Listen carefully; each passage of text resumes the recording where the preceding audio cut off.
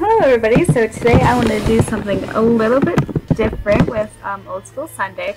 So I basically, in this video, I wanted to show um, my progress over the years with MS Paint. Like I don't use MS Paint anymore, the only time I use MS Paint is to do the Old School Sunday videos. However, I wanted to show um, my experience with videos back then. So on the right side you see how I used to draw anime in the MS Paint style. Yeah, I'm not even kidding, this is how I used to do it, or from what I remember. And yes, the hair, I really did draw the hair like that. I I also used really rough colors, like I had them very saturated, and it just kind of made the drawing look really bad, I guess. Um, I oversaturated the skin, the hair, and I don't really know how shadows worked at the time either, but this is as much as I can remember from how I used to draw on MS Paint. Um, yeah, even for the eyes, I didn't really do much. Um, yeah, everything's kind of just really blocky. Yeah, blocky is the right word for it. Um, but yeah, I didn't really go too far into details, but you know, I, I tried. So the left side is how I used to draw. Yeah, I used to draw. No, it's how I draw now. Yeah, there we go.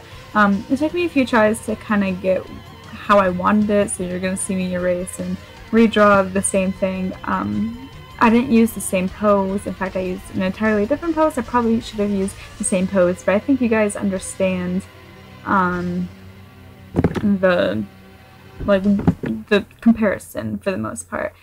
So yeah, for how I draw now, it's um I use a lot more detail.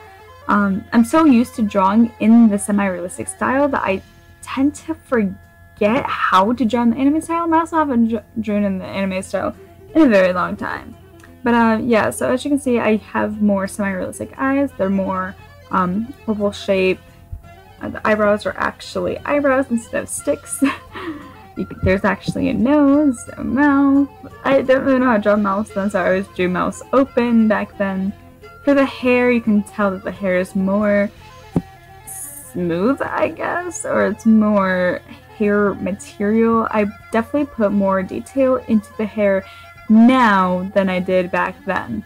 And th and this is only for MS Paint. Um, and if I, the normal program I use, I draw completely different. This is only how I draw in MS Paint. But yeah, you can see I put a lot of more detail in the eyes. I don't make the pupil black, I make it more darker of the color that I'm using. Um, I also put a lot of shading into the eye. So yeah, I use more than basic colors I use more than one color. So you, as you can see, you can see there's like five different colors within the eyeball itself. So um, yeah, and it takes a lot longer to draw MS Paint now than it did before. Well, actually, no, because I used a mouse back then, so what I'm saying is, in a nostalgical sense, I, um, I, I draw, like, I take my time now, I should say. Uh, yeah, so I try to use the same colors as I did from the previous one, just so you can get the idea. The only thing I did different was the skin, because the lesson I've learned now is I can actually, it's better to not have the skin so saturated.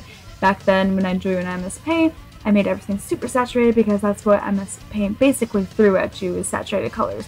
But um, I learned over the years I can really um, make less saturated things and it would still be a good image. And I don't know why it's frozen here. I'm not sure.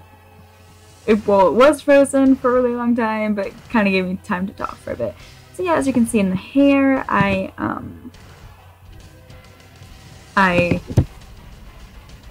realized that back then I, I did this and realized that like present me I would normally do the dark color hair first and as you can see in a few seconds I change it to dark brown and then I go over with with more browns and um, I'm not really sure if this was an actual anime style or if I was really going for my style. I think I was going for my style of anime because this is not exactly how I do anime style, but for MS Paint, it's, it's good enough.